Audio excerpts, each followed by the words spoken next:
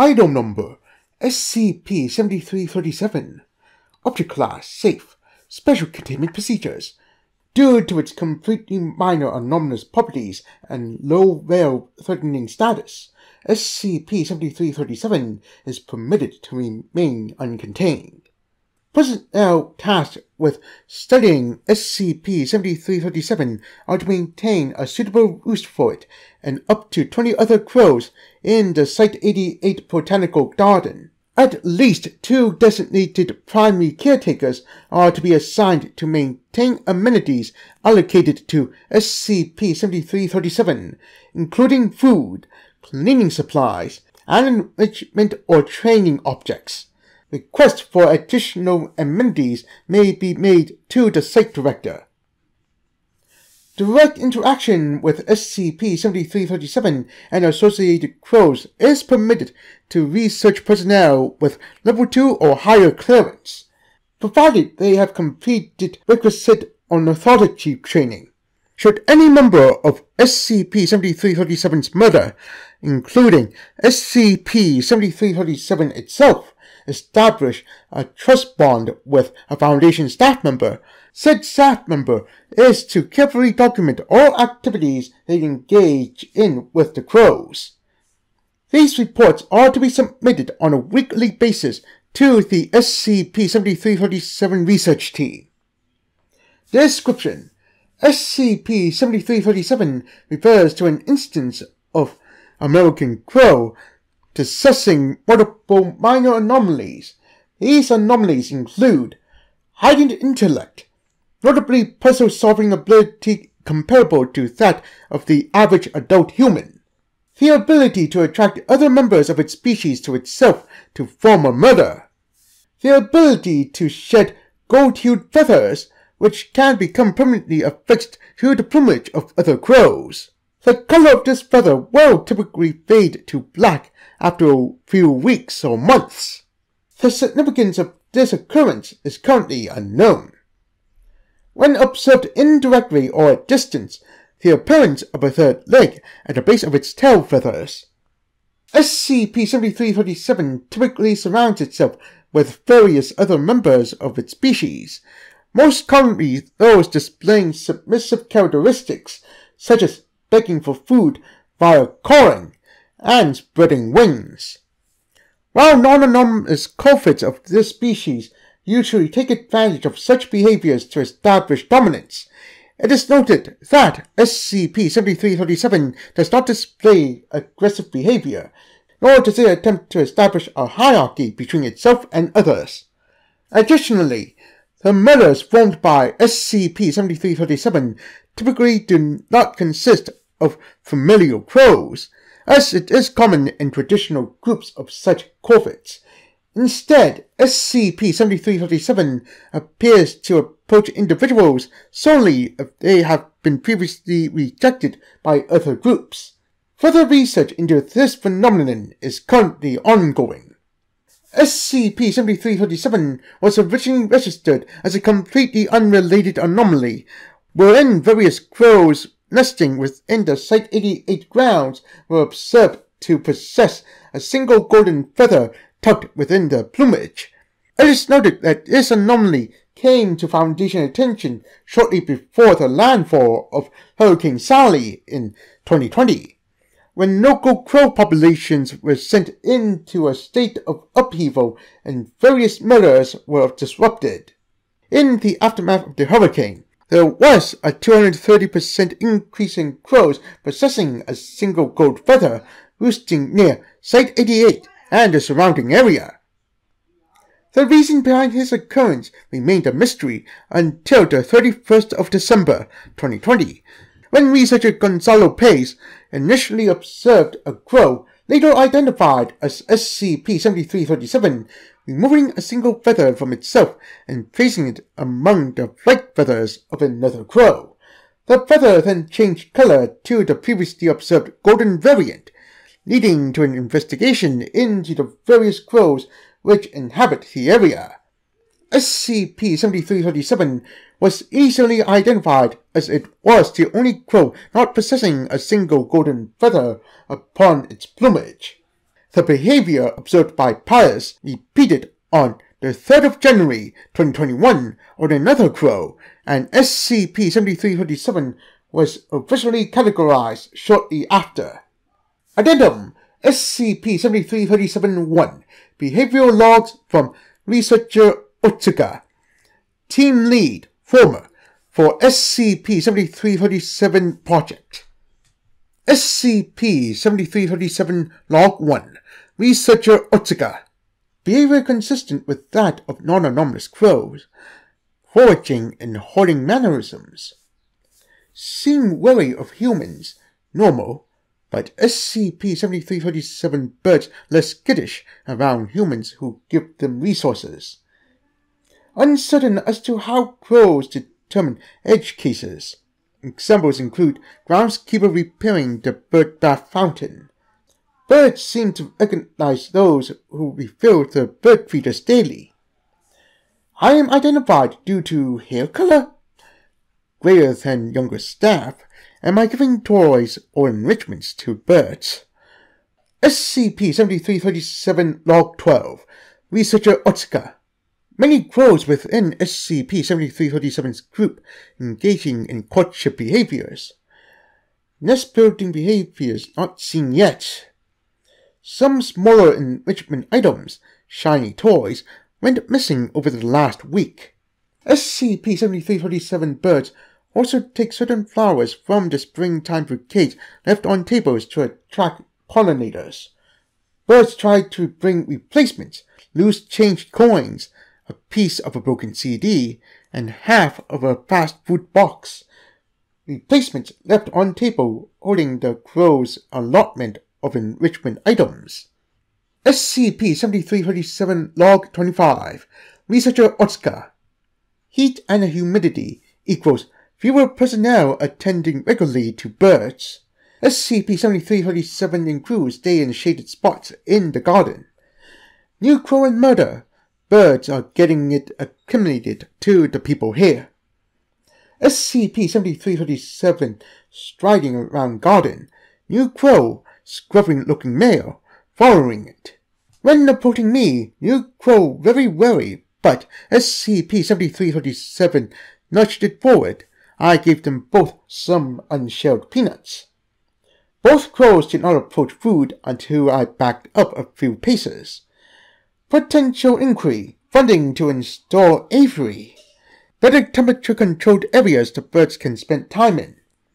SCP-7337 Log 38 Researcher Otsuka Small autumn-themed picnic out on the grounds today in vicinity of birds. Someone made bird-safe muffins. Staff had muffin pieces and tried to see if SCP-7337 or any of the crows would approach them. Crows did not approach, except one junior researcher got swarmed by the birds. Researcher was very quiet during the whole picnic, just finished Foundation Masters and wasn't sure where to go next with the degree. Reason for birds to approach? Some of SCP-7337's murder tried to sit on her shoulders and preen her hair. SCP-7337 Log 63 Second week of switching from notes to audio transcripts. Oversight wants more spontaneous observations rather than afterthoughts, I suppose. Well, I would have ordered another jacket for the walk between the greenhouse and the rest of the botanical gardens. We opened up a little side room in the greenhouse for the crows to occupy. They can come and go as they please, and I think they like that. The crows seem to be enjoying the heated area. I see them all huddled up under the lamps. Some of the older ones call at me when they see me arrive, but they don't swarm me like they used to. I wonder if they could tell that I'm in a mood. Smart birds. I think I'll miss them a lot when I'm done here. Technically, I'm far past the age for retirement. But I could never really leave well enough alone, could I? There was always more I wanted to do. There's still is more I want to do. But I don't know if that's because I genuinely want to continue with my research, Oh, I'm just scared of what I would do if I didn't have my work to take up my time. It's more comfortable sticking with what you know. SCP-7337 Log 78. Has it really been that long? It's springtime again already. I can't believe that I'll be retiring in a few days. Higher ups told me there would be a ceremony for the lot of us out in the courtyards.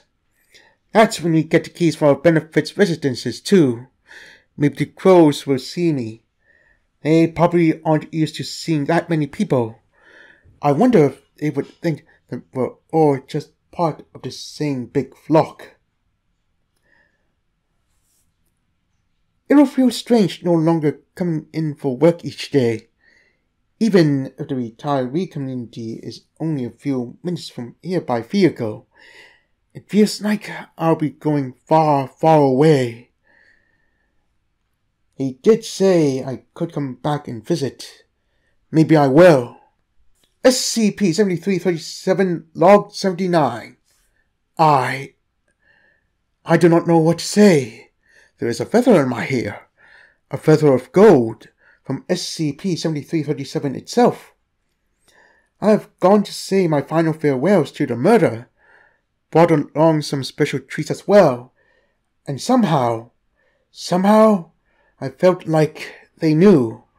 Almost every crow was there. I remember her distinguishing features, you see. The little Spitfire with the slightly bent beak, the elder fellow with the scraggly head feathers, the stately lady with the missing toe.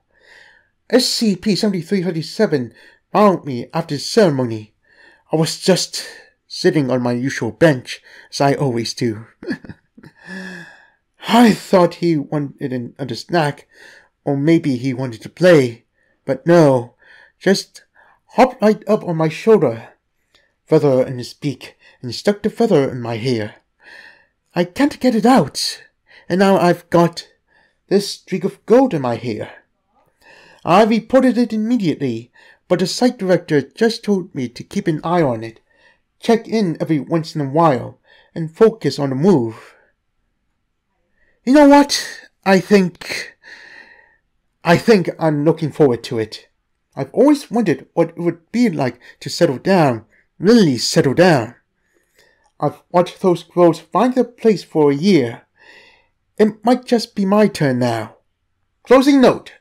As of the 15th of June, 2023, the Foundation personnel assigned to the SCP-7337 project received a letter from researcher Otsuka Attached to the letter was a photograph of three crows, presumably two parents and a juvenile, sitting atop a picnic table identified as being on the shared property researcher Otsuka occupied with other Foundation retirees. The two parent crows both have a single golden feather. Of note, it was observed that the golden feathers possessed by these two individuals were primarily dark colored, as if the initial golden color had faded away, tucked into the plumage, and the juvenile is pictured playing with a feeding enrichment toy. Researcher Otsuka is seated at the table. There is a noticeable streak of darkened gold hair amidst the silver white of her natural hair color. The letter was unsigned and read, They brought a new little one to visit. It's nice to be remembered. Addendum SCP-7337-2 On the 6th of December 2024, Foundation personnel observed a younger crow within the SCP-7337 murder receiving a golden feather. However, rather than the usual melting effect, the plumage of the crow in question turned entirely gold with black streaks.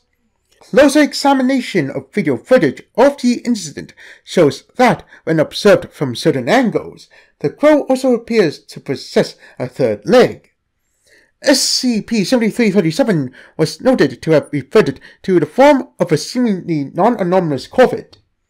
The new successor, tentatively designated SCP-7337-1 was observed in previous interactions to have been particularly sensitive to human emotional states, as well as being well accepted by the entirety of the SCP-7337 murder. SCP-7337-1's most commonly recorded activity was noted as assistance to other crows, aiding SCP-7337 with onboarding new arrivals by guiding them around the botanical gardens and showing where various resources could be found. On one occasion, SCP-7337-1 had been observed assisting a junior researcher with locating the correct fertilizer to use for a certain flower bed.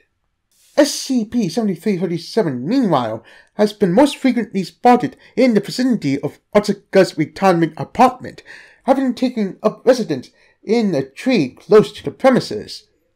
Discussion regarding revising designations for SCP-7337 and SCP-7337-1 are underway. Further research is necessary to better determine whether the anomaly inherent to SCP-7337 merely affects an entity by chance, or rather is a position that must be earned.